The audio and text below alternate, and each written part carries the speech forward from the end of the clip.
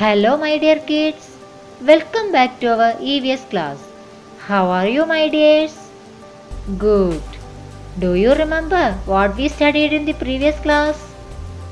Yes, we studied about wild animals. What are called wild animals? The animals which live in forest are called wild animals. Lion, tiger, giraffe are the examples of wild animals. Kids, today we are going to study about insects and birds. Are you ready? Okay. Have you heard about insects?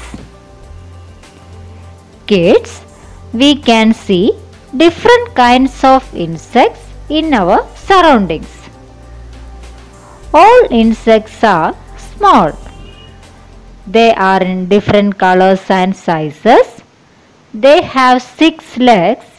Some insects have wings to fly. Housefly, mosquito, cockroach and butterfly are some common insects. These insects live only for a few days. Kids, do you like butterfly? Butterfly is the most beautiful insect. Which is the most beautiful insect? Butterfly is the most beautiful insect. Do you understand? Kids, now we will study about birds. These are the pictures of birds. All birds have feathers on their bodies. They have two legs, two wings, and one beak. Birds can fly with the help of wings. We pet the hen, the pigeon, and the parrot in our houses. They are called pet birds. What are called pet birds? We pet some birds in our houses. They are called pet birds. Hen, pigeon, parrot are the examples of pet birds. The eagle, the vulture, and the ostrich are also birds. Kids, do you know which is the largest bird in the world?